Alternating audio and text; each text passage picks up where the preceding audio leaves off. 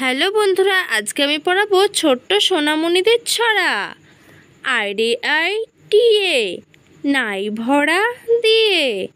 না নিয়ে গেল বোয়াল মাছে, তাই না দেখে ভোদর নাচে। ওরে ভোদর, ফিরে চা খোকার নাচন দেখে যা।